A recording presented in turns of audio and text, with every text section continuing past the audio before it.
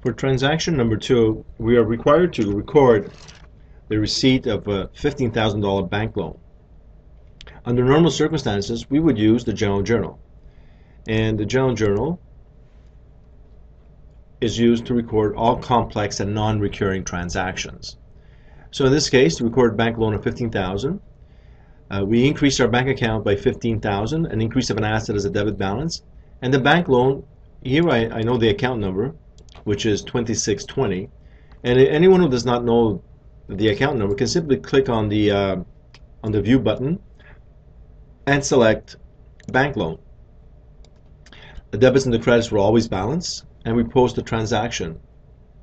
So let us do this momentarily. And there we go. Now the moment the transaction is posted, what will happen? Well, if we go to reports and financials and look at our trial balance, the trial balance will record all debits and credits.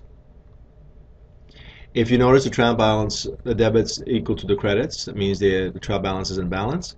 And if I would click on the bank loan on the account 2620, here's our general ledger. General ledger shows that we received $15,000 and a liability is shown as a credit balance.